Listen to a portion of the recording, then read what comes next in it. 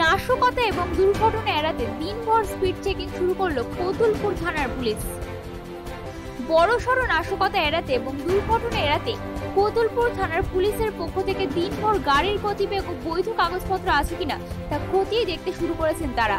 কোতুলপুর থানার পুলিশ এবং বিষ্ণুপুর ট্রাফিক কন্ট্রোলের পক্ষ থেকে চেক পোস্টে দিনভর তল্লাশি চালানো হচ্ছে।